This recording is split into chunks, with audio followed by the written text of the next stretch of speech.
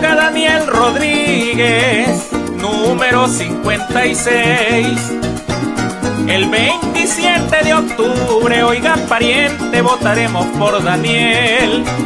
Por el Centro Democrático, Daniel Rodríguez, número 56.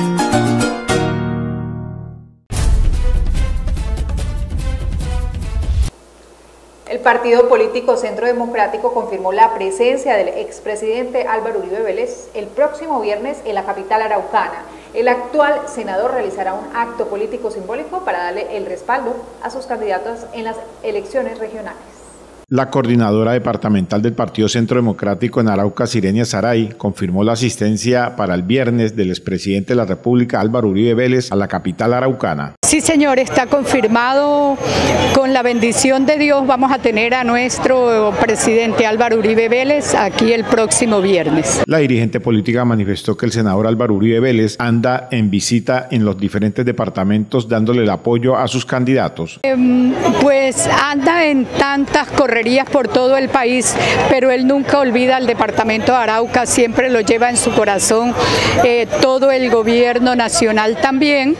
Y eh, va a estar unas dos horitas, pero vamos a hacer un acto público en donde todo el pueblo de Arauca, del departamento de Arauca, nuestros candidatos a alcaldías, al candidato a la gobernación, nuestros candidatos a asambleas, a consejos, todos puedan estar, estar en ese acto público y por supuesto la gente del departamento de Arauca. La dirigente política manifestó que el expresidente Álvaro Uribe Vélez viene a esta región del país a darle el respaldo al departamento de Arauca siempre viene en ese respaldo al departamento de Arauca.